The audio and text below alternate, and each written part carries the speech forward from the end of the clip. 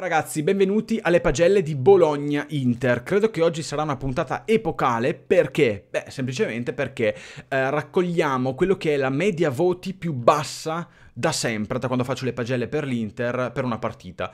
Eh, solo in pochissimi si salvano con la sufficienza, forse due o tre, non mi ricordo, adesso vediamo. Anzi, adesso vediamo chi se la merita e perché e perché gli altri non la meritano. E prima di iniziare con i voti, eh, ovviamente, ecco, devo dirvi una cosa molto molto importante. Vi rubo giusto un minuto, eh, nulla di che. Eh, devo, mi devo scusare perché ieri non ho fatto la live su Twitch post partita.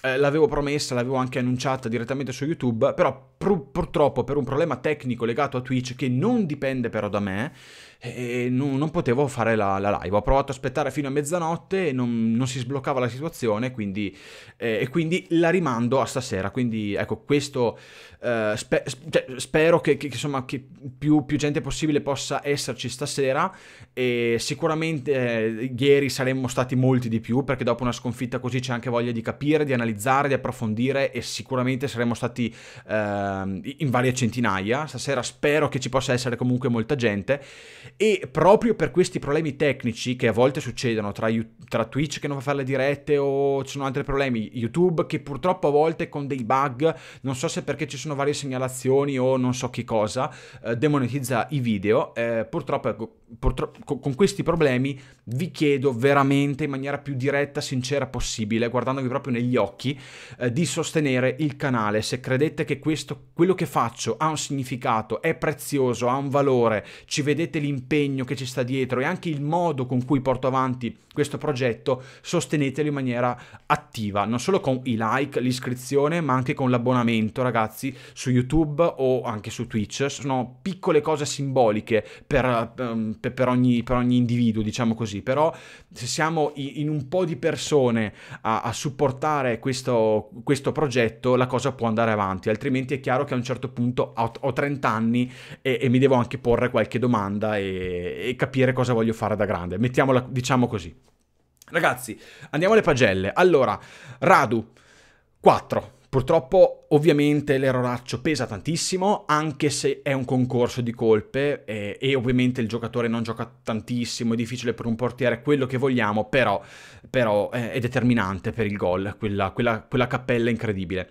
Skriniar 6, ecco lui è una delle pochissime sufficienze, ci prova in tutti i modi il nostro capitano, do 6 anche per come si è comportato alla fine della partita scudando, scudando Radu, no? cercando di aiutarlo, di, di, di, di coprire ehm, dalle telecamere, telecamere, tutte queste cosette qui e, e poi in ogni caso eh, durante la partita ci ha messo il massimo, anche se poi non ha avuto molti sbocchi, i compagni non si muovevano molto, non trovava molti, molti corridoi, non è quello che deve inventare l'azione ovviamente. È arrivato anche al tiro qualche volta e poi messo sulla sinistra ha commesso però degli errori e qualche imprecisione di troppo, quindi appena al 6 ok, di più stento anche darlo a Skriniar.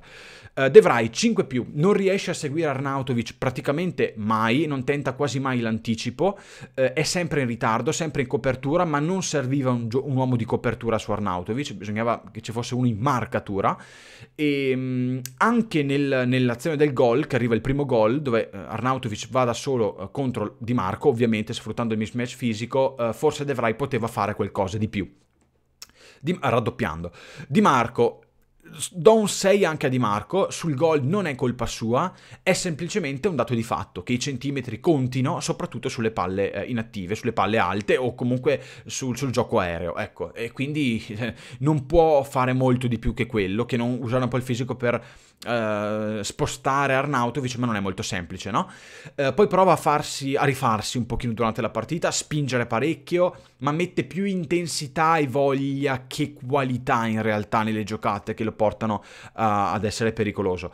Dumfries 4 e mezzo, mi dispiace tantissimo, sapete quanto Dumfries sia un bravo ragazzo, sia anche un buon giocatore, però è un buon giocatore ma è limitato comunque.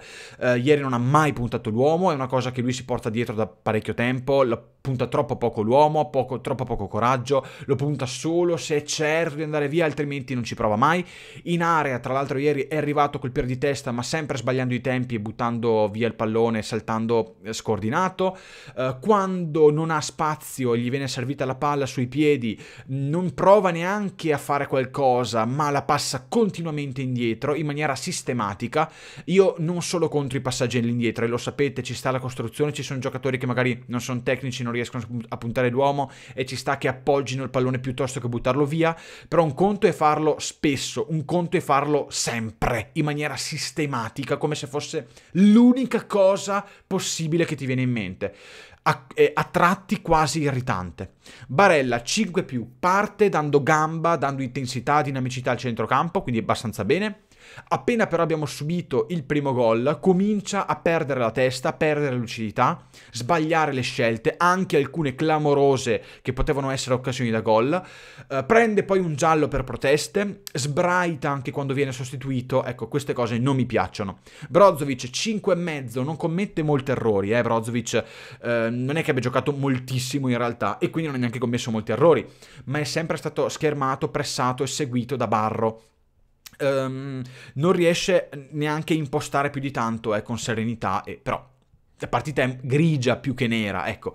Cialanoglu, do un 6 più a Cialanoglu perché nel primo tempo è stato il migliore, eh, a, proprio a mani basse dell'Inter, a parte la giocata di Perisic, ehm, è stato, insomma, sì, il migliore, è l'unico faro, l'unico che riusciva un po' ad abbassarsi, a prendere palla, a costruire, a creare qualche pericolo, provare magari una giocata, un pallone da fuori, qualcosa del genere, o a recuperare anche palloni, quindi metterci anche intensità in maniera però precisa, non frenetica critica. Eh, poi piano piano però è calato e anzi forse da 6 più caliamolo a 6 questo voto, diamogli un 6, eh, più, più, che un 6 più. Piano piano nel secondo tempo è calato, i compagni però anche se sono mossi molto poco e quindi era difficile per lui inventare chissà quale giocata. Perisic 6,5, ovviamente pesa molto il suo gol, molto bello, gol mozzafiato, bellissimo e um, continua anche nel primo tempo spingendo, provando anche qualche giocata, però successivamente il gol preso, cosa succede? Succede che Di Marco lo porta, um, diciamo Di Marco diventa un po' frenetico, vuole, vuole uh, farsi perdonare, spinge tantissimo in avanti e questa cosa porta più volte Perisic a doversi fermare per coprire le scorribande di Di Marco. Quindi è vero che Di Marco si è reso peri- pericoloso, ma Perisic eh, non ha potuto spingere in altrettanto in modo altrettanto offensivo, ecco. Eh, poi nella follia generale ha battuto una rimessa direttamente praticamente verso la porta di Radu mettendolo in difficoltà, quindi oltre 6,5 per quanto il gol sia bellissimo non si può andare. Correa 5 più, purtroppo troppo mollo, leggero, insufficiente, gli spazi sono stretti ma doveva comunque dare di più. Nella passività di Correa di ieri, che non mi è piaciuto e, e da cui ci dobbiamo aspettare di più, anche perché ha fatto molto bene le ultime partite invece, nella sua passività comunque è riuscito a trovare un'incornata pericolosissima eh, su calcio d'angolo che eh, il portiere Bologna ha salvato in maniera incredibile e una girata con molto tecnica eh, che ha fornito un assist a Dumfries che poi non ha tirato, ma problemi di Dumfries. Correa comunque nella sua passività e mollezza insufficiente è riuscito a fare almeno due robe, ecco, in area. Lautaro invece 5 perché lui sembra reattivo, sembrerebbe apparentemente un po' più, eh, in realtà non è mai pericoloso, sbaglia spesso la scelta, sull'1-0 può fare almeno due volte molto meglio, e, e avere delle occasioni, invece ha cannato clamorosamente. Quindi ehm, Lautaro è riuscito nell'impresa di essere ancora più nullo di Correa, pur sembrando più, più reattivo e più così. Cioè, ha fatto ancora meno. Geco 5,5, non è che sia colpa sua, eh, però insomma è stato messo dentro in area, sostanzialmente non ha fatto quasi nulla, eh, è stato messo dentro per dare peso in area, però non gli è arrivato nessun pallone vincente. E l'Inter eh, di fatto non si è più trovata in campo con i cambi di Inzaghi e non ha più costruito azioni, quindi Geco si l'hai messo dentro ma un po' è già appannato di suo, in più non ha avuto nessun tipo di, di azione creata, pulita per servirlo eccetera eccetera, per sfruttarlo anche e quindi non ha dato quasi nulla. Sanchez 4 e mezzo continue piroette in giro per il campo, azioni frenetiche che non portano a nulla, tanto fumo e eh, basta. Neanche, neanche poco arrosto, proprio fumo e basta, fumogeni, fu tanti fumogeni colorati.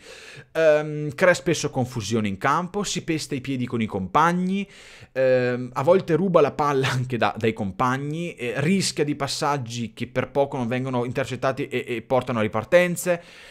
Insomma, sì, mm, tanto fumo e questa cosa può anche elettrizzare un po' perché vedi questi colori sgargianti, giallo, rosso, viola, arancione, eh, di tutti i colori, tutto e più, però di fatto eh, di fatto va a vanificare le azioni dell'Inter, va a, a, va a, scompigliare la struttura dell'Inter che quella coralità che, che, che, che è l'arma vincente per creare le occasioni eh, fa tanto casino e tocca tanti palloni e non, e non combina nulla. Inzaghi 4 Eccoli qua i voti, ragazzi. Vedete che le sufficienze sono veramente poche. Ho detto anche questi più a Ciala. Beh, portiamola a 6, appunto.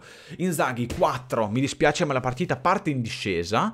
Uh, ma appena abbiamo segnato il gol. Anzi, appena sì, abbiamo segnato noi il gol, esatto, il primo gol. Subito l'Inter è diventata passiva e, e ha smesso di costruire. Quando bisognava invece azzannare ancora di più la partita e sfruttare il momento. Uh, lì Inzaghi doveva farsi sentire e mm, a volte sembra quasi che non abbia la squadra, che non riesca a, a controllare la squadra e, e, e, a, e a piegarla al suo volere, sempre che il suo volere fosse quello giusto, cioè di azzannare la partita, perché se il suo volere um, fo- magari eh, fosse veramente, fosse stato, il suo volere eh, era, sono son perso la, con- la consecutio temporum ragazzi, perdonate, ma se il suo volere era quello veramente di riabbassarsi, controllare un attimo, allora la squadra ha fatto esattamente questo e ha sbagliato. Um, dicevo, un'altra cosa importante, ecco, dal gol poi di, addirittura di Arnautovic, è successo che abbiamo anche cominciato a giocare in maniera disordinata e nervosa. Anche questa cosa non è possibile e non è la prima volta che succede, quindi Inzaghi non può esente, essere esente da colpe. Poi i cambi peggiorano ulteriormente l'inerzia della partita perché stravolgono, anche le poche certezze rimaste e distruggono totalmente la partita. Eh, quando c'è frenesia, sei nervoso, hai pressione, almeno se la tua funzione tattica c'è, ti trovi in campo, se sbagli qualche scelta, ma a forza di avere pa- i palloni e costruire, pian piano un'azione riesci anche a imbastirla, no? Anche se sei un po' sotto pressione. Se perdi anche quelle certezze lì della tua costruzione, del modulo in campo, di come ti trovi, come sviluppi e tutto, ah, si salvi chi può. Non a caso l'Inter negli ultimi 30 minuti ha fatto disastro totale. Cioè proprio non ha giocato, cioè sembrava di vedere una partita totalmente mm, insensata. Chiaro, si attaccava con tutti gli uomini, quindi Bologna era un po' più basso ovviamente, ma non abbiamo mai costruito un'azione seria, pulita in maniera organizzata e ordinata. Era tutta frenesia a caso e questa cosa non è vincente. Uh, poi figuriamoci i cambi. Gagliardini per Cialanoglu non ha senso. Sanchez per Barella neanche quello ha senso. La difesa a 4 al sessantesimo, a, no all'80, al sessantesimo è l'emblema della perdita totale di lucidità. Questa cosa qua me l'aspetto da tifosi. Cioè i tifosi che dicono, ah basta, difesa 4, bim, bam, ma non dal tecnico, non dal tecnico dell'Inter. Eh, questa roba qui è, è, proprio una roba di pancia, sembra quasi una, una, roba di pancia, che infatti non porta ai risultati. Sempre, lo dico sempre, il populismo, la pancia, l'ira, eh, le chiacchiere da bar non portano mai ai risultati. Magari sembrano belle da dire, prendono l'attenzione dei gonzi, ma quello che conta è i risultati. I risultati li porti a casa con l'analisi, con la competenza, con le cose giuste, con il ragionamento, con il controllo delle cose che hai sotto, con la, col, col, mantenimento del controllo tuo, la pazienza e anche il controllare le cose che hai di fronte, invece di buttare tutto quanto in cacciara. Quindi questa, questa mossa veramente è deludente. Abbiamo perso totalmente gli equilibri in campo, l'ordine in campo. La bocciatura di Vessino in una partita come questa è masochismo puro. Anche qua me l'aspetto dei tifosi che dicono: Ah, Vessino, via! Ma non si può tenere fuori uno come Vessino in una partita come questa, come quella del genere di ieri, soprattutto se eh, prevedevi un finale con tanti palloni sporchi di poca qualità buttati in mezzo, eh, lì l'incursore, quello che eh, all'artiglio no, finale, eh, cioè, almeno quello devi mettere in campo. Servivano giocatori ieri come D'Ambrosio, come Vessino, come Correa, come Geco, uh, fino alla fine per trovare sinergie, uh, visto che avevi perso un po' la, la, la, la, testa in campo, bisognava almeno trovare sinergie tra caratteristiche dei singoli, tra centimetri, inserimenti e giocate, mantenendo però la struttura di gioco inalterata e per produrre quindi azioni un po' pulite, perché è vero che tu metti dentro Geco, oppure pote- dovevi mettere dentro anche Vessino, eh, tenere dentro Correa, mettere D'Ambrosio terzo di destra, mettendo magari togliendo De Vrij più che Di Marco, no? ehm, e, e, tenendo Skriniar in mezzo, per esempio, per marcare anche Arnautovic meglio a questo punto. Eh, è vero che c'hanno questi giocatori, ma se tu non hai la, la struttura di gioco che ti consente di far arrivare in mezzo dei palloni sensati, puoi avere anche giocatori messi dentro, ma non, non, fai nulla. Quindi bisognava mettere questi giocatori specifici per le loro caratteristiche adatte al tipo di partita di ieri, ma tenendo, tenendo la tua struttura di gioco. E, e quindi a maggior, a maggior, ragione devi mettere questi giocatori e non altri. Cioè, togli Barella, metti Vessino. Togli, togli Lautaro, per esempio, che ha fatto il nulla cosmico ieri, e metti Geco. Togli De sposti Skriniar, metti D'Ambrosio terzo. In questo modo sei molto più offensivo senza perdere equilibrio, perdere struttura, perdere le tue cose. Poi viene addirittura ammonito Cialanoglu, che salta la prossima perché la, la scorsa partita, te, vi, vi, ricordate, vi dicevo, bisognava sostituirlo prima, eravamo in, eh, in, tranquillità con il risultato, eccetera, eccetera, invece l'abbiamo fatto ammonire, è entrato in diffida, oggi era in diffida, eh, cioè poteva, appunto, sì, era in diffida, esatto, ha preso la munizione, a questo punto fallo giocare tutta la partita, perché lo devi togliere tanto la prossima non la gioca, quindi veramente tutto, non c'è una roba che abbia un senso, che, che sia uno, uno, veramente sbando completo e questa cosa non la posso accettare da, da, dal tecnico, posso accettare da, da dei tifosi eh, incazzati che chiedono di stravolgere qualsiasi cosa e fare le cose, ma non dal tecnico che dovrebbe avere le cose sotto controllo. Ora si fa dura, dipendiamo dal Milan, che è caricato a palla a pallettoni dai nostri errori in primis e in secundis anche dai media amici che eh, dite quello che volete ma hanno supportato il Milan ultimamente in maniera enorme affossando l'Inter e mettendo ancora più pressione all'Inter ieri cioè vedete come i, i voti sono molto negativi ma non dimentichiamoci che l'Inter gioca con una pressione, con una propaganda uh, contro che è incredibile e questa cosa pesa. Poi noi ci mettiamo il nostro, a maggior ragione, poi con errori e cavolate varie e peggioriamo le cose. Questo è tutto, ragazzi, vi saluto. Ci vediamo fra poco, insomma, su Twitch in live. Spero che appunto sarete in molti. Rinnovo veramente la, la richiesta di supportare il canale perché siamo in 30.000 iscritti a questo canale o anche di più. E, e gli abbonamenti su YouTube sono 50. Si può fare di meglio, secondo me. Almeno io ci credo. Almeno per, per adesso voglio ancora crederci che questa cosa possa avere un futuro. E, e, quindi, e quindi, ecco, mi rimetto a voi. Se poi, eh, voglio dire, i contenuti non dovessero essere apprezzati tanto quanto mi aspetterei, eccetera, devo prenderne atto semplicemente capisco che sì, può piacere ma a troppo pochi e quindi, e quindi posso fare dell'altro, insomma, molto semplice. Eh, quindi devo, devo, un po' ragionarci, ecco, sono un momento in cui sto cominciando a riflettere alla... alla um, vicino ai 30 anni, quasi 30 anni che, che, vado a compiere fra pochi mesi, è giusto che, che, insomma, che ci ragiono un po' su e che vedo un po' cosa fare da grande. Ragazzi, vi saluto. Forza Inter, intanto. Non è finita, ma non bisogna sbagliare nulla. Bisogna vincerle tutte e sperare. E sperare, ma sarà complicata. Ciao ragazzi, a fra poco. Forza Inter, in ogni caso.